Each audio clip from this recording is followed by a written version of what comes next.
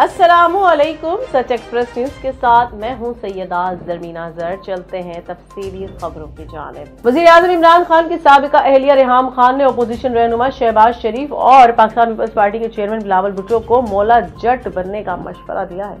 Twitter पर जारी बयान में रेहाम खान ने कहा है कि शहबाज शरीफ और बिलावल ठगों को डील करने में नरमी बरत रहे हैं। नूरी नत के लिए आपको मौला जट बनना होगा। वाज रहे कि इमरान खान के खिलाफ तेरी के अदम एतमाद आने के बाद रेहाम खान की जानब से मुताद बार वजी अजम को तनकीद का निशाना बनाया जा चुका है। ये थी अब तक की तफसीली खबरें। मजीद खबरों और अपडेट के लिए देखते रहिए सच एक्सप्रेस न्यूज़। हमारे साथ रहिए।